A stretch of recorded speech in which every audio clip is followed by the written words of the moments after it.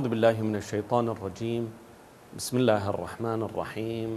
والحمد لله رب العالمين. والصلاة والسلام على أشرف الأنبياء والمرسلين سيدنا ونبينا محمد وأهل بيته الطيبين الطاهرين. اللهم صل على محمد وآل محمد.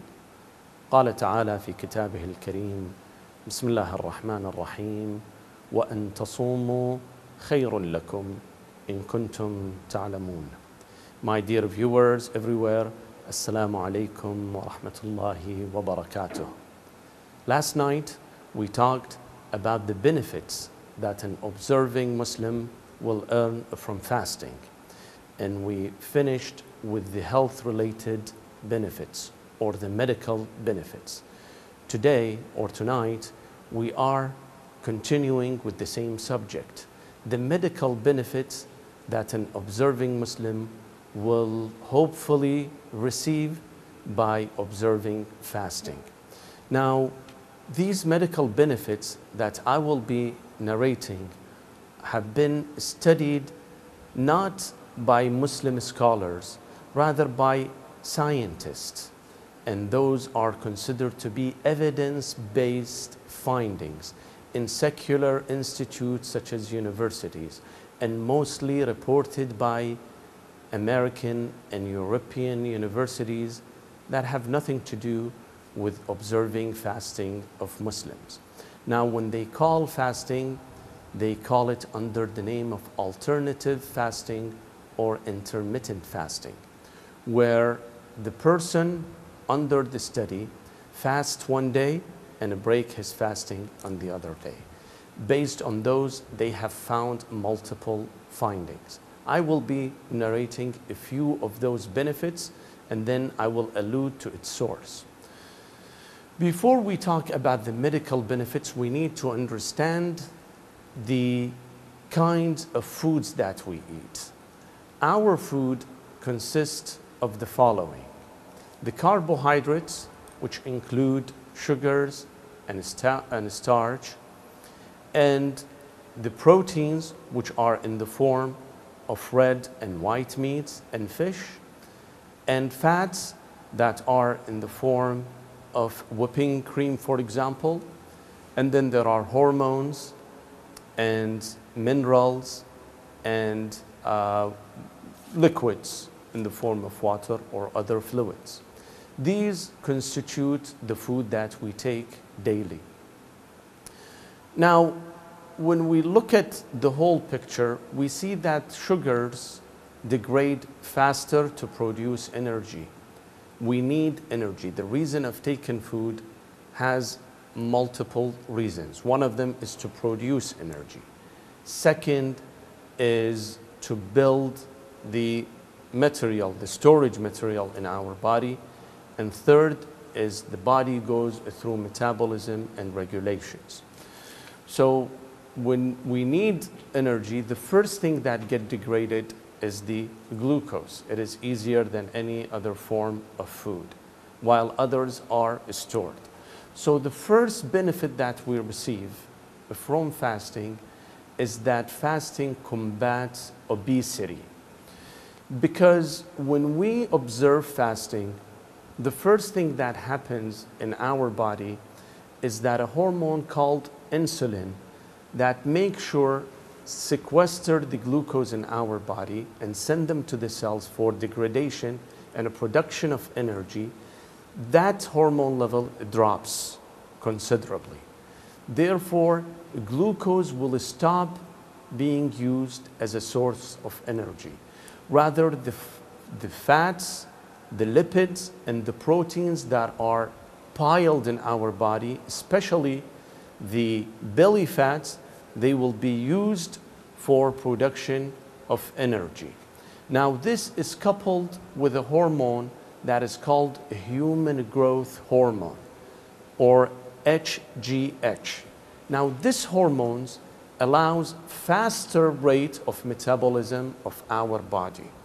This will increase in five-fold. The metabolism in our body will increase up to five-fold upon fasting.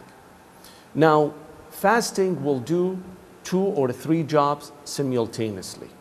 Number one, when we stop eating anything, we stop taking up any food, we have restricted the amount of calories that gets in our bodies. Now, calorie is the containment of energy. Now, when we stop eating, the number or the amount of calorie have been restricted in getting into our bodies. On the other hand, when hormone the growth hormone in the body starts to kick in and start to work, it will consume more and more of the calories. So fasting does two things at the same time. Number one, it reduces the intake of the glucose and sugars in the body. And second, it consumes them faster in the body in addition to the fats and proteins. That's why it is considered that fasting fights obesity. Now, based on a study in Aberdeen, Scotland, University of Aberdeen, Scotland, the study that says fasting weight, for weight loss, an effective strategy or latest dieting trend has been published May 2015 in International Journal of Obesity. This is the first benefit of fasting. The second medical benefit of fasting, as I have discussed it, is the human growth hormone. Gu- Human growth hormone allows the cellular processes be expedited and the growth of a human takes place. Now, this human growth hormone has been witnessed that the maximum activity of this, this hormone reaches during the time of fasting or stoppage from food intake by five folds. The more activity of the human growth hormone, the faster the combustion of the calories and reduction of the, of the um, waste materials or, or, or um, um, lipids and fats, and therefore we will end up losing many of those storage materials that, if they stay in the body, they cause danger and hazard. Again, this has been described in a paper that is called the Journal of a Clinical Investigation, a paper under the title of Fasting Enhances Growth Hormone Secretion and Amplifies the Complex Rhythms of Growth Hormone Secretion in Man. It has been studied in the Department of Internal Medicine, University of Virginia Medical School, and it has been published in April 1988. The third medical benefit of fasting is a process that is called autophagy. Autophagy ensures that the waste material in our cells have been sequestered and taken away. Assume you are building a home. You're building, uh, constructing a building. Now, at the end of the construction, you will end up seeing piles of waste materials. You will see bricks, you will see woods, you see piece of irons, you will see steel, you see cements and things like that that have been not used or have been left over. These are considered to be waste materials and you need to get rid of them. You bring a shovel, you bring a truck, and you load the truck with those waste material and throw them in the dumpster. The same thing in our body. When the cells perform their duty in making proteins, hormones, and other things, we will end up having waste material in those cells. Now, if those waste material stay in the, in, in the cells longer, they cause trouble. They cause autoimmune disease, they cause inflammation, and other patho- pathologies. Therefore, the body is equipped with a process that a, a cellular repair process that is called autophagy. Now, autophagy takes all of those waste materials and dump them out of the cell into the waste. Studies have shown that this process, autophagy, becomes expedited and increases in multiple folds when we are under the state of fasting. Again, fasting helps the cellular, important cellular uh, process that help us to secure our bodies from inflammations and from autoimmune diseases. Again, this has been under study in the Journal of Autophagy, where the title says Short-Term Fasting Induces a Profound Neural, neural auto, Autophagy. And this is, has been done by the very well-known Scripps Research Institute at La Jolla, La Jolla, California, and that was done in August of 2010. So this is the third medical benefit of fasting. The fourth medical benefit of fasting is that it combats aging and chronic diseases. As we age, the reason some scholars and some, some scientists say that the reason we age is because of a cellular process that generates free radicals. Those free radicals are very reactive molecules that bind with DNA and protein and RNA and destroy them inside the cell. When these DNAs and proteins get destroyed, they will shorten the lifespan of the cell. Hence, our lifespan also will be shortened. The more we get rid of these free radicals in the cells, the longer and the, the longer our life will be and the healthier our state of body will be. Now, studies have shown that during fasting, the free radical number in our body will be shortened. Fasting, intermittent fasting, will combat the free radical formation in our bodies. Again, the study for this has been done by a research which has been published in Biomed Research International in 2014, where it says oxidative stress or prooxidants and antioxidants, the interplay, where they speak about the benefit of fasting and combating the oxidative stress. The fifth and last medical benefit is that intermittent fasting helps combat cancer. Nowadays, cancer is very common everywhere. The lethality of cancer is that it produces tumors that they grow in an exponential order, out of ordinary, without any limits. The cell growth, will, will, which leads to tumor growth, causes cancer patient to die. Now, under fasting, the normal the normal cells go through hibernation. They stop activating. They stop the activity and go into sleep. However, the cancerous cells keep dividing and proliferating. Now, under fasting, the food becomes scarce. Those cells will end up destroying themselves by eating the components of themselves, the components of the cells.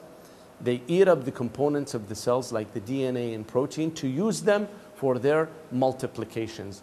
Therefore, they cause self-destruction or under the medical term called cellular suicide. They commit suicide. Now, studies have shown that those who are under fasting, when they commit fasting, they, better, they have better chances to combat cancer. Cancer such as breast cancer, brain cancer, and skin cancer. And finally, the study for that has been published in the Journal of Current Opinion Oncology, where the title says Metabolic Regulation of Sirtuins Upon Fasting and the, and the, and the Implication for Cancer. These are the benefits of fasting. When we pay attention closely, we see that the Prophet, peace be upon him, 1400 years ago, have said this elegant statement where he has said, Sumu tasahhu. If you observe fasting, you will be healthy.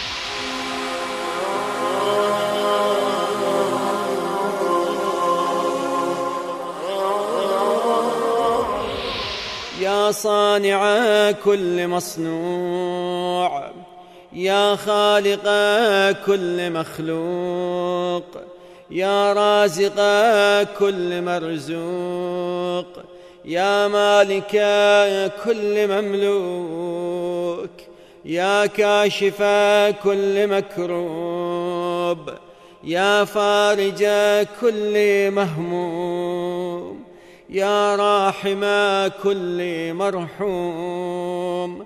يا ناصر كل مخذول يا ساتر كل معيوب يا ملجأ كل مطرود. سبحانك يا لا إله إلا أنت الغوث الغوث. خلصنا من النار يا رب. يا عدتي عند شدتي يا رجائي عند مصيبتي يا مونسي عند وحشتي يا صاحبي عند غربتي.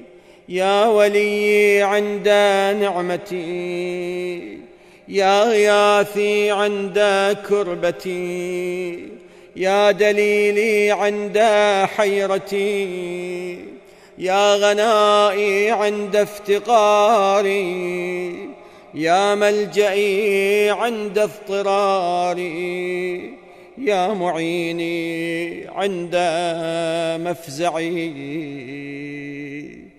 سبحانك يا لا إله إلا أنت الغوث الغوث خلصنا من النار يا رب.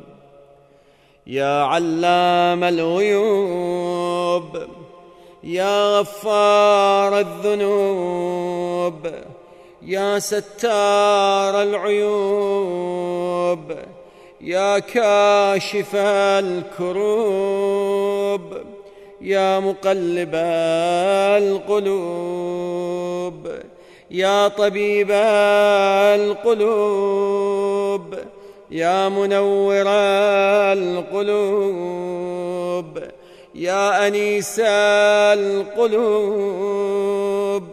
يا مفرج الهموم يا منفس الغموم. سبحانك يا لا إله إلا أنت. الغوث الغوث خلصنا من النار يا رب.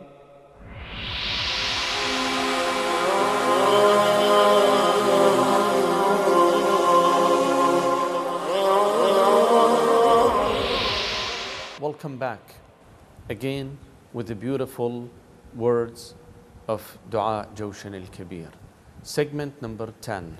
The theme of the segment is to get conduct approved and accepted by Allah subhanahu wa ta'ala, where it says, يا صانع كل مصنوع يا خالق كل مخلوق يا رازق كل مرزوق يا مالك كل مملوك يا كاشف كل مكروب يا فارج كل مهموم يا راحم كل مرحوم يا ناصر كل مخذول يا ساتر كل معيوب يا ملجأ كل مطرود Oh, the fashioner of every fashioned thing, the creator of every created things, the provider for every needy things, the sovereign of over all subject, dispeller of every hardship, comforter of every griefer, merciful to every sufferer, helper of everything forsaken, concealer of every blemished thing,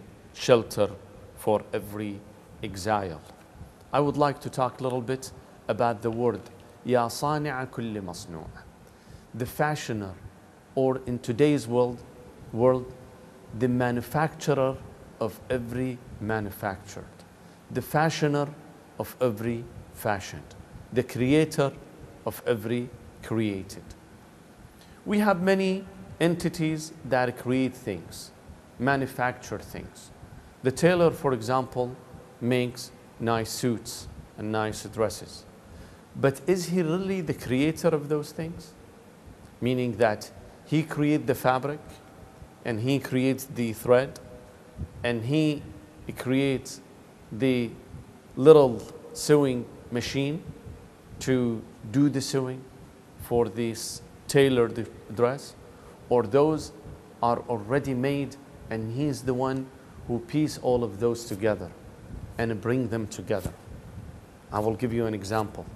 The manufacturer of a car of an automobile does they do they manufacture every part of the automobiles how many parts are in a single automobile? It is stated that there are more than 30,000 parts to a single automobile taken from the external body to the interior to the engine to the back to the seats to the windows to the steering, to the pedals, to the radiators, to the glass, to the window, to the seats, to the dashboard. These are more than 30,000 pieces and parts from all nuts and bolts to the big engines, to the radiators, to all mechanical and electrical work network of the automobile. Those more than 30,000 pieces are made by whom? All by a single manufacturer, or they change from one manufacturer to another. For example, Boeing, the airplane manufacturer, they borrow their engine from company called Rolls-Royce. So the Rolls-Royce will make the engine and sell it to Boeing, and Boeing use it for their carriers. So those are not in reality are considered to be the creator of the created. But look at the Almighty Allah subhanahu wa ta'ala. When He creates something, does He need the assistance of others, for example? When He creates us, when He creates the plants, the trees, imagine those tall rising trees. Go to Redwood in California and look at the 40 foot, 50 foot trees. They're made of from what? A single seed that seed itself did everything. All parts of those tall trees are made from that little seed. God doesn't need to bring so many parts together. The same thing, the same seed has everything to develop. Look at the creation of man. When we are conceived in the womb of our mothers, how we grow and how we be, we're born and how we become adults.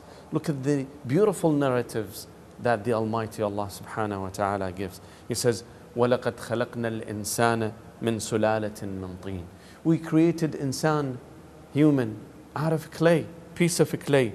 ثُمَّ جَعَلْنَاهُ نُطْفَةً فِي قَرَارٍ مَكِينٍ We made him a seed inside a resting womb. ثُمَّ خَلَقْنَا النُّطْفَةَ عَلَقَةً Then we made him a lump of a flesh. فَخَلَقْنَا الْعَلَقَةَ مُضْغَةً A clot then from clot we made a lump of flesh then فخلقنا المضغة عظاما then we created bone out of this lump فكسونا العظام لحما then eventually we covered those bones with tissues muscles and flesh then it says ثم أنشأناه خلقا آخر this is the creation of a human being a human being that has more than 3 billion cells 3 billion cells that we do have in our bodies are created only from a single seed.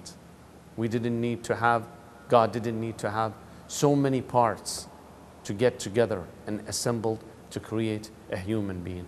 Therefore, God is the creator, He's the manufacturer, but He's totally different from the rest of the manufacturer.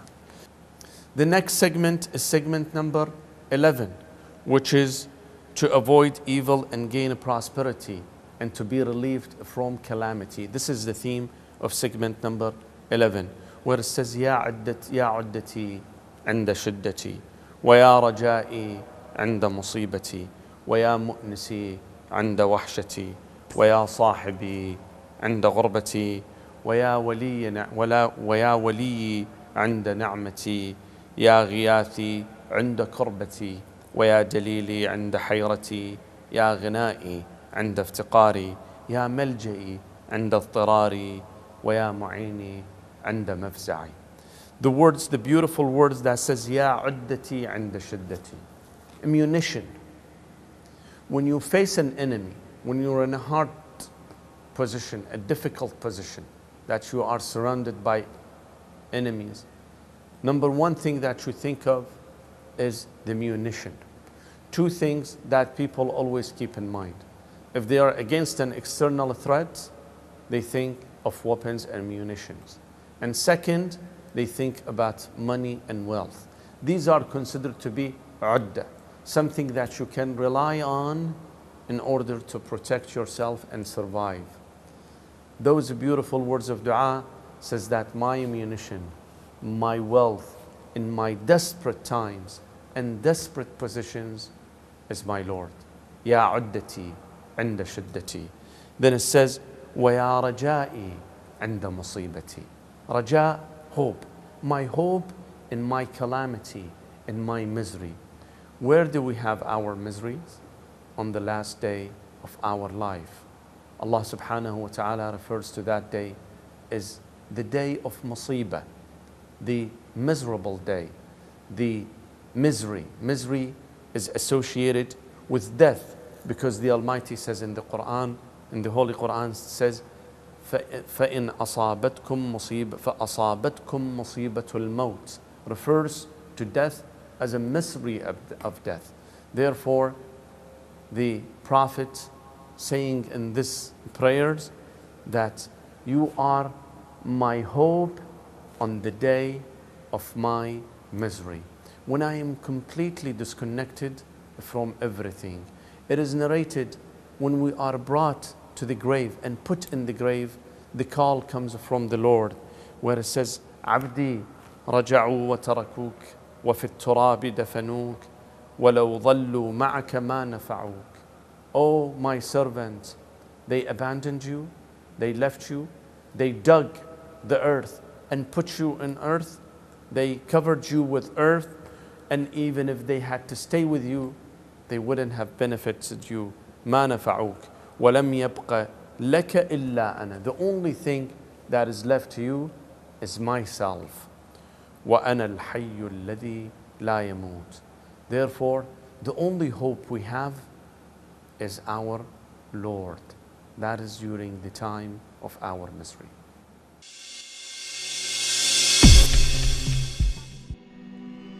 Be on your guard against falsehood because it is contrary to faith.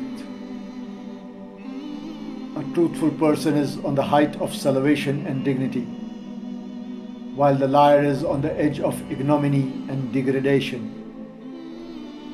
Do not be jealous because jealousy eats away faith just as fire eats away dried wood.